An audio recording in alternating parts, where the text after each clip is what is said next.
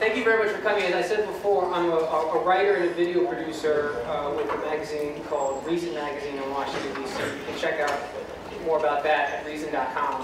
Um, so for the next 30 minutes, uh, we're going to go through the full history of a country. Uh, necessarily, that does mean we're going to have to align a couple things, but I'll try to hit the highlights. Um, first, uh, the most obvious question is why should you care about this country? Why Cuba? It's one of uh, over a couple dozen Latin American countries. It has a population of 11 million people. Its economy is extremely small, uh, well outside the top 150. Why is it then that Cuba, specifically in the course of the last 60 years of American history, has had such a profoundly important role to play? Well, uh, that stems from this. So this is the Berlin Wall coming down in 1989. Uh, this is, uh, unfortunately, at risk of reminding myself of my age and mortality and the fact that I'm largely antiquated now in the American economy, but you guys are all born in the late 90s or early 2000s, right? So, uh, all you guys have ever known is a world order in which the one that you guys are living in is the dominant paradigm. So kind of Western democratic capitalism. But there was many, many, many decades uh, in the middle of the 20th century which that wasn't the case. That there was American capitalism, and then on the other side, there was a completely different economic system, which is sort of Soviet communism. Uh, and instead of having sort of a vibrant private enterprise, you have the vast majority of the economy being controlled by central planners. You have pretty strict controls on political rights. You can't freely assemble, you can't freely speak, but all those controls are for the purpose of advancing the kind of collective good that the Soviet, Soviet uh, experiment was uh, sort of attempting to achieve. This is the flag of the Soviet Union. And for a couple of interesting historical reasons, this uh, competition between these two different conceptions of how is it that you should run a society. Should you have lots of central control, we have a few people with a lot of power making the decisions about what the economy produces, and you have tight controls on what people can say and how they can interact, or do you have the American system, which is, relatively speaking, freer, much more vibrant private enterprise, and a more emasculated central controls. And this competition ended up finding its uh, an extreme focal point in Cuba. That Cuba turned out to be the grounds for this struggle in a couple key periods of American history. So this picture was taken in the late 1950s. On the left is Fidel Castro, who is still alive today. Uh, he is right about to finish toppling the dictatorship uh, that was backed by the CIA, CIA by a uh, guy by the name of uh, Fulgencio Batista. He's 32 years old, He's about to topple a dictatorship. I am 32 years old. I spent most of this morning like frantically reshuffling my fantasy football team. So I am, I'm, I'm duly impressed by his accomplishments. He's an immensely charismatic guy, and he has uh, a set of skills which makes him capable of kind of operating uh, in the world of the mind, but also in the world of action. He's a guerrilla, but he's also like a self-styled kind of poet and intellectual. So on his right, on his right, is uh, the Argentinian guerrilla revolutionary Che Guevara. Uh, we'll get to uh, some more specific details about him a little bit later on, about kind of what he ended up doing with his career after he toppled the Cuban government. But you guys might know him from things like this, that kind of beautifully angular face, that, that visage, visage being uh, very easily translatable to posters for some call for social justice or for revolution. Also bobbleheads. And Jay-Z too. Uh, che Guevara's face, it's never quite clear what exactly it stands for, but we, I think we could all agree it's something about toppling corporate overlords and uh, ridding the world of the cancer that is capitalism. I don't think Jay-Z fully appreciates that he is a corporate overlord and represents capitalism. but we'll get to some of the, the interesting inconsistencies in the way that his uh, iconography is deployed a little bit later on. Okay. So uh, they toppled this regime that was backed by the United States in 1959. The United States was engaging in a practice that it tended to do quite a bit at the middle of the 20th century, which is backing bloodthirsty, terrible dictatorships just so long as they could prevent a country from becoming communist. It's extremely important to the CIA and the American intelligence apparatus not to have communism spread.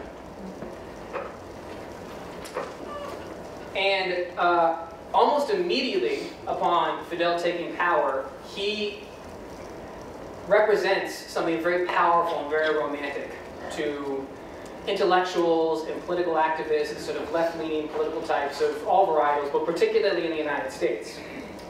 Um, and he uh, is a socialist. He, the, the country ends up providing really expansive government services. It's a single-party state. There are like elections, but there's, there are elections like the way there were elections in Iraq where like there's a reason he gets 99% of the vote because if you don't give him the vote, you're very likely to end up in jail. And also equally importantly, and again, this is kind of where you guys got to put your mind as you try to appreciate what it is that Cuba represents. He represents like a singular self-determination, like a Latin American self-determination, in which this guy from this tiny country was able to stand up to the great capitalist oftentimes imperialist power of the United States.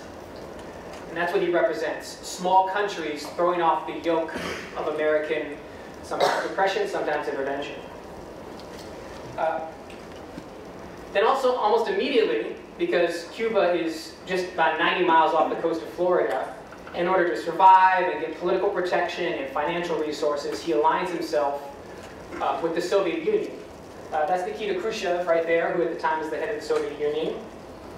And the Soviet Union ends up providing Cuba hundreds of billions of dollars over the next couple decades.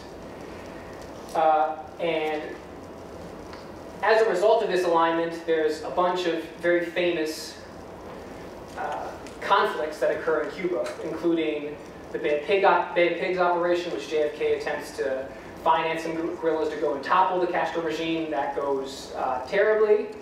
Uh, Lee Harvey Oswald, the guy that put a bullet in Kennedy's brain, we know traveled and potentially trained in Cuba. We don't quite know, but he was in Cuba. Um, and then, of course, there's the Soviet missile crisis in which the Soviet Union stations nuclear weapons 90 miles off the coast of Florida, and humanity ends up becoming very awkwardly close to annihilating itself if it weren't for some very kind of late, late minute uh, diplomatic heroics from the Kennedy administration.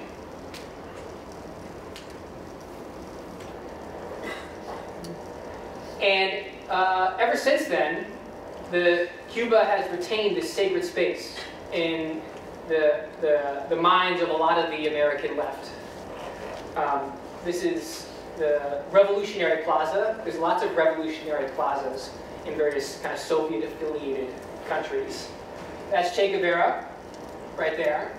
And underneath him, in English it says, until the final victory. I mean, just, you see that and you even if you don't quite know what it stands for, you kind of you do feel inspired to do something. We're not quite sure yet, but it's to do something. Um, uh, various like Hollywood types and uh, kind of public intellectuals have gone and uh, interacted with Fidel Castro, befriended him. That's Oliver Stone, potentially the most overrated filmmaker of all time. Uh, this is The Nation magazine, is doing a cultural exchange cruise with Cuba uh, in January of next year. Okay, so that's the that's the kind of like image of what Cuba is. Now let's talk about what is actually going on there. And I think that is best summed up in this. So every year, this is still, about 20,000 Cubans try to make boats from uh, various bits and pieces, tires, kitchen equipment, and they hop on those in the oftentimes futile hope that they can make it to Florida. That this is the only way that they can escape. They literally, and they know this, risk getting eaten by sharks to get to Florida of all places, right? And those that can't escape like this resort to more drastic means. Cuba actually has the highest uh, per capita suicide rate in the Western Hemisphere. So what is happening here? Wait a minute. Is, these two things are a little bit uh, misaligned. Well, the truth is that kind of underneath all that undeniably kind of romantic sloganeering about Cuba, it is uh, a police state. That average Cubans are extremely tightly controlled and denied a lot of the freedoms that we tend to take for granted here. There's something called the Department of Revolutionary Orientation, like the most unimaginably just like scary name for a government agency you can imagine, which is able to lock people up for prison terms for being insufficiently deferential to the regime, or being critical of Fidel Castro, or speaking out or forming dissident movements. And that journalists and dissidents and anyone who dares to engage in political opposition, they're regularly thrown into jail. So in 2012, uh, Cuba had about 6,600 political detentions, which is the highest per capita rate in the world of political detentions, people serving jail time because of what they believe. You can take as a paradigmatic example this guy, Villar Mendoza, who was detained in 2011 for peacefully demonstrating the human rights abuses of the Cuban regime. After an hour-long trial, uh, he was sentenced to four years for contempt. Again, this is like Department of Revolutionary Orientation, kind of vague accusations of being insufficiently revolutionary, and insulting national symbols and he eventually died in jail on, a, uh, on the 51st day of a hunger strike, protesting this like abominable human rights violation. The Cuban people have resorted to this to get information about the outside world. It's called El Paquete, which stands for the packet.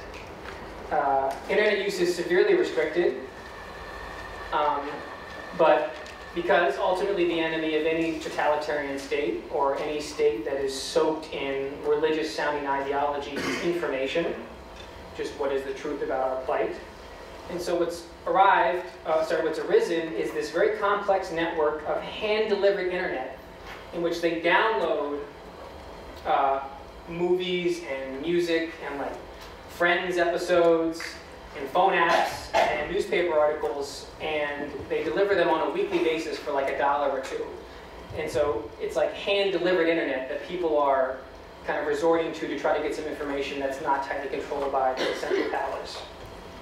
Now all that is bad enough, right? Like that's not a really chill place to live to have to resort to USB uh, to, to, get uh, yeah, new episodes of Mr. Robot. But to make it even worse, the Cuban economy is uh, subpar, I think is the way to put it. So that right there is not an antique car show. That's like right now in downtown Havana. And because of, to a small extent, the American embargo on uh, Cuba, which really tightly controls economic activity between the island and the United States, but in large part because of the radical inefficiencies and waste and fraud and abuse inherent to top-down collectivist economies, the Cuban people are extremely poor, and they have to stick with 1950s Ford Model A's in order to get around in the year 2015. Uh, Cuba, almost immediately upon Fidel taking over power, suffered acute food shortages and rationing, and it's been that way ever since. They also have a somewhat kind of much vaunted universal health care system that's oftentimes compared to the United States', which is, as a side note, a total catastrophe. But uh, despite sort of the romantic claims about Cuba being this kind of humane socialist country that ensures everybody receives the medical care they need, uh, Cuban patients routinely have to bring drugs and their own devices to their doctors. They're technically insured, they're technically receiving medical care, but they're not actually when they show up to the doctor's office. Um, the very, and that sad reality found its most acute manifestation in this, which is that uh, when Fidel Castro himself, after he had three botched operations for colorectal surgery in Havana with Cuban doctors, he had the luxury of fleeing to Spain for a proper surgical, uh, surgical intervention. The vast majority of Cubans do not have that uh, luxury. And, uh, but there is still a way that, despite being ostensibly an anti-capitalist organization or anti-capitalist enterprise, Cuba has like a remarkably savvy marketing department in which they're able to sort of twist and turn and uh, obfuscate some of these key details about the, the nature of the country. So, and during the Ebola outbreak of 2014, um, Cuba actually sent a fleet of doctors to West Africa. It's part of this sort of long-standing program of theirs called medical diplomacy, in which they prove the fruits of the revolution by sending the revolution's most trusted warriors, which are these most vaunted Cuban doctors. And Fidel Castro himself called it the greatest example of solidarity a human being can offer. And that line was sort of dutifully lapped up by the American media, why Cuba is so good at fighting Ebola. Uh, unfortunately, uh, this is actually a classic example of kind of a cynically corrupt money grab being dressed up in the romantic slogan, slogans of the revolution that it turns out that these doctors had their passports confiscated the second that they stepped outside of the plane in West Africa. They were held under constant surveillance. The Cuban government was paid directly for their services with the expectation that they would compensate them. They didn't, and the Cuban government ended up pocketing about $8 billion in compensation for the services uh, discharged by their physicians. So all which is to say that there is a yawning chasm between the romantic imagery surrounding Cuba and its lived reality. Which is why you get that.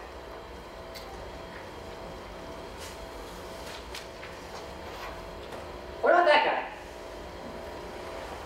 What about Che?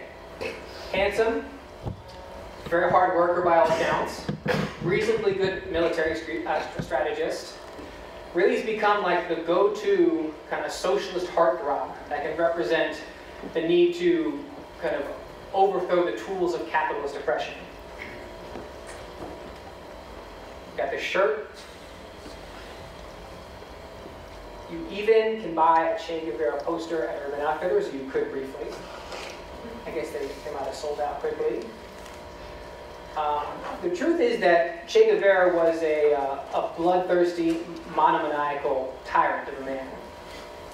That he uh, was installed as security chief of Castro's Cuba, and his first order of business was setting up vast labor camps, or gulags, uh, in which he would send people that were designated to be uh, politically inconvenient or insufficiently committed to the revolution. It turns out those ranks included the likes of gay people, AIDS victims, Catholics, Jehovah's Witnesses. And that violence that he enacted upon his fellow Cubans, he's personally supposed to have either conducted or overseen over a thousand executions, is he was driven by this fixation that comes up a lot in human history of being able to re-engineer man to fit a new political ideal. The idea being that all of us become endowed with certain kind of evolutionarily programmed selfish impulses. And it tends, they tend to be to prove inconvenient when you're trying to craft a socialist utopia. But he had the bright idea that we could just forcibly change people's programming. And if people failed to get the sufficient like iPhone upgrades to their brains, they get executed or they get sent to labor camps. He eventually was killed in Bolivia uh, about seven years after the Batista regime fell uh, by CIA-backed counter-revolutionaries. Okay, so this was the uh, this is what was going on for quite a while, and and most people I think assumed that the American relationship with Cuba would stay at stasis for the foreseeable future. We embargo them, we attempt to politically and diplomatically marginalize them, and they continue to like uh, not so subtly oppress a lot of their people. But then, after 18 months of secret negotiations, this happened.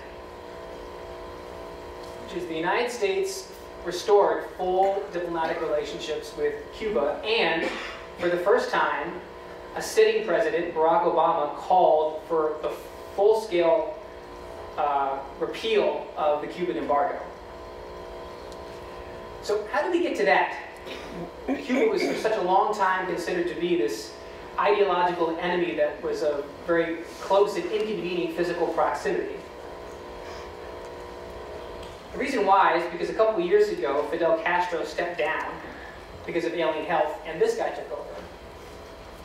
This is his brother Raul Castro. Raul is not endowed with history-making charisma, right?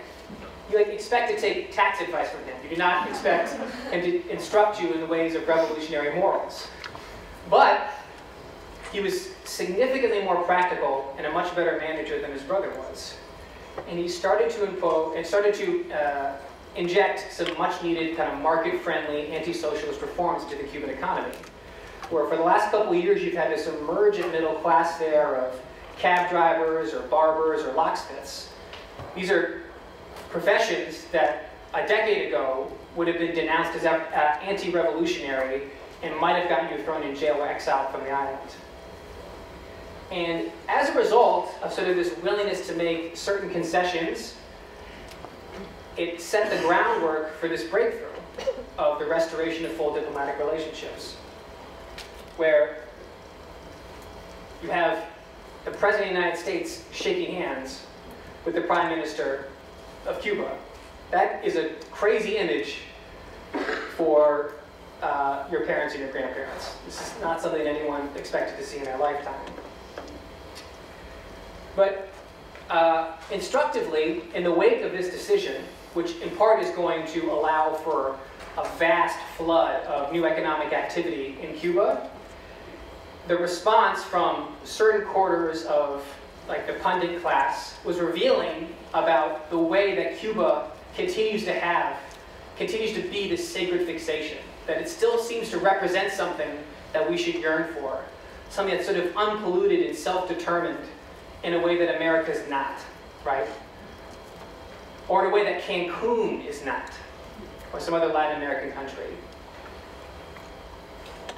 This is a tweet from I think just uh, maybe a couple days after the announcement was made in December. This is a Sacramento Bee columnist. Says, as my friend suggests, it's Cuba and its people who should beware of Pizza Hut, McDonald's, American Idol, and the Kardashians. Or a, a radio host by the name of Matt Binder. Booking my Cuba vacation now before there's a Starbucks and a McDonald's and a bank on every block right? Because poverty is authentic.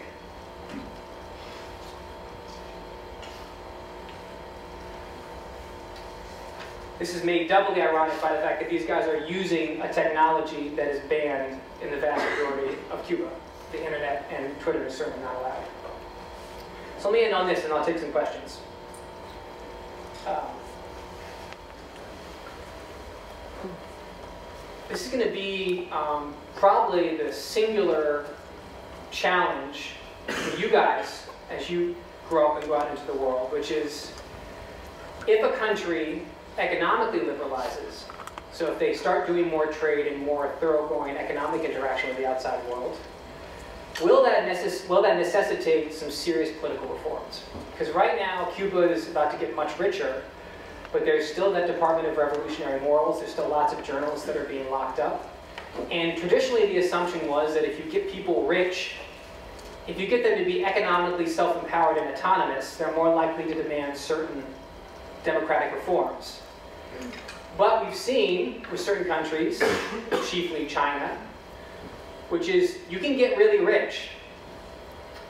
You can even get Facebook, and you can still be deprived of the vast majority of the political liberties that you're due.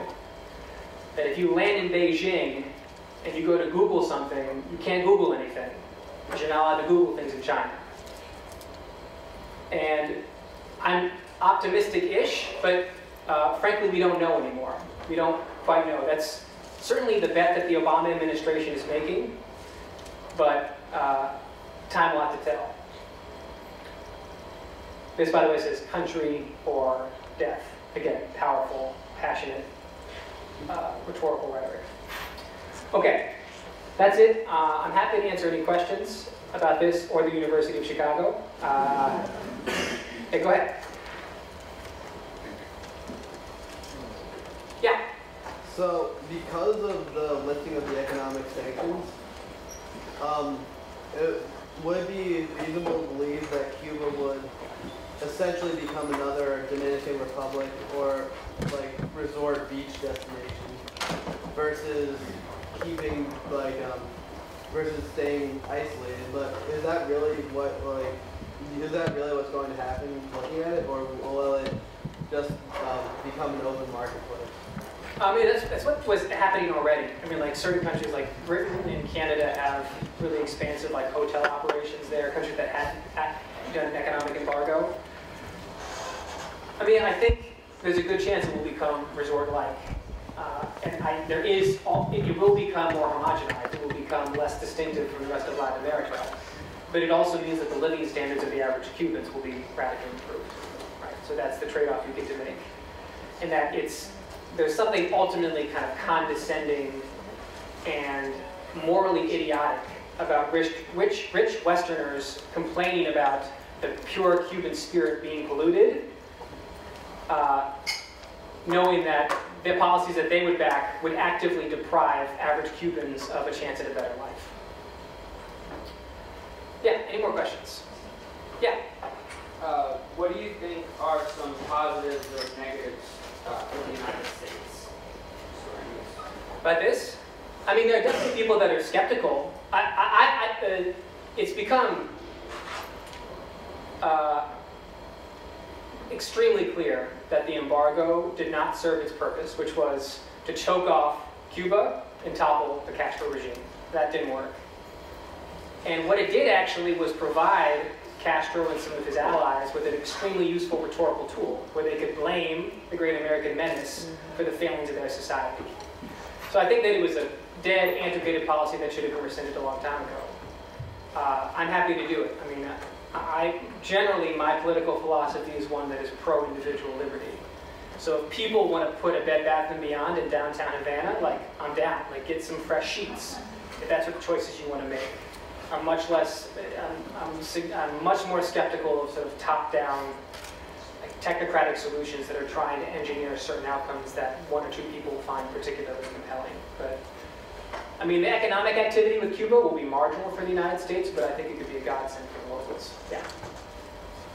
Uh, yeah, agree. What do you suggest we should have done instead of putting an embargo on? Uh, well, I mean, it's like, so just don't, don't do that. But it's, I mean, the, the, the period in which it occurred, there really were lots of people that had a lot of power in this country that were convinced that, um, that like communism was like bird flu. Like if you don't wash your hands sufficiently, like your grandkids might catch it, right? And they wanted to keep it as far away from them as possible. And so the idea that you have this, this country that is so close to the American border, being infected it just drove them insane. And the kind of natural inclination was to immediately try to, um, separate and control. Interestingly, though, it turns out the night before JFK signed into law the embargo, he told one of his like lower level functionaries to go and purchase as many Cuban cigars as possible. So he had like a stash of like 17,000 that he smoked on during the course of his presidency. So now I think that there's never been a case, well, I don't know. It's a tough question. Uh, generally, I think isolating people that you ideologically disagree with uh, is not a good idea. Last time I was here, I talked about North Korea. And there are certain choices that could have been made to make the United States slightly more engaged with North Korea, which they decided not to do, and that allowed for the inculcation of this very kind of radical ideology that now controls that country. Right behind you. Yeah. Um, where do you see Cuba being economically in like 30 or 40 years out? Down the embargo lifted Yeah, I mean, It's much better. It's got a long way to grow. It's not going to be an economic powerhouse. Again, it's tiny. It's tiny, but it's like any of those other resort tropical islands where there's just a vast class of people that make a reasonable living, mostly in the surface economy, oftentimes at, at hotels that rich white Westerners visit. Right? It's not. It's better than the alternative. Yeah. Um, so you said Raul Castro is much more practical uh, leader of Cuba, but there's still 20,000 people trying to flee the country. Are people of Cuba in favor of him as a, as a dictator, Fidel, or?